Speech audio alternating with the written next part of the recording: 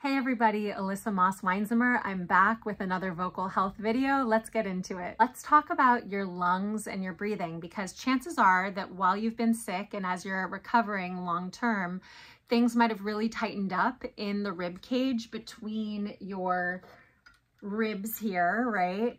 There's these intercostal muscles and things can really start to get rigid in our torso. So we want to free things up. So we're going to use a practice that is kind of esoteric in order to get into the lungs. So if you place your hands on the upper lobes of your lungs, your, your lungs have three lobes.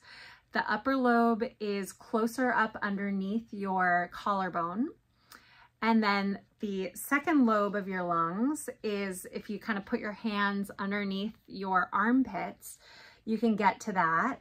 And then I'll get up a little bit higher for you so that you can see that the lower lobe of your lungs is kind of mostly around the back side of your ribs. So we're gonna go into each part of your lungs and in fairness, people say that because the heart's on the left side of the body, that the left side has only two lobes, not three, but we're just gonna say that there are three lobes for the sake of balance and our imaginations right now.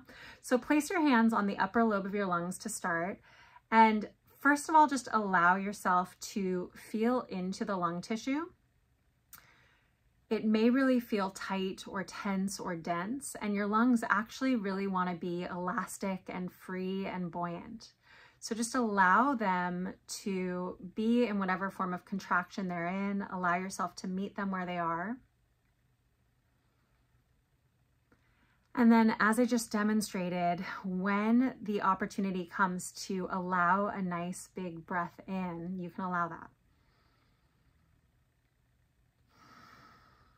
And it can sometimes be helpful to even squeeze a little bit extra on the exhalation because then uh, that allows you, almost like bending your knees on a trampoline, that allows you the spring of the inhalation on the next breath.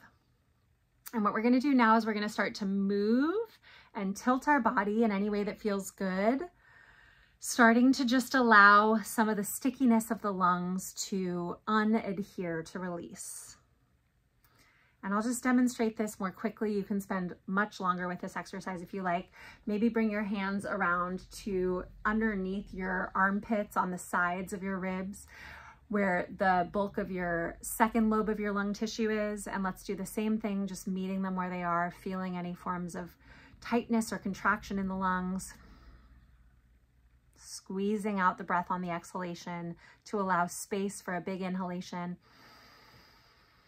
And then as you like, start to tilt, start to rock, start to move your body to release any adherence, any adhesions, any tightness in the lungs. And then finally, we'll come up to the back of the lungs. So you can reach your hands around the back side of your ribs to the best of your ability. Beginning technique, just meeting this part of your lungs where they are squeezing out on the exhalation to allow in a big inhalation. And then starting to move and tilt and tip. And of course, total bonus as a voice teacher, if you want to start releasing some sound with this, I highly advocate that. you can make a little bit of a sigh or a sound. It's really, really valuable. I know it's not something that we do often in our society, but it's really valuable to spend some time with these organs in your body to feel what your lungs are feeling like. So spend some time with this exercise, moving your lungs around. The pleura, that is the sac that your lungs are in, can start to get really tight and adhere when they haven't been moving easily for a long time. And an exercise like this can really release it. So I hope this makes a big difference for you.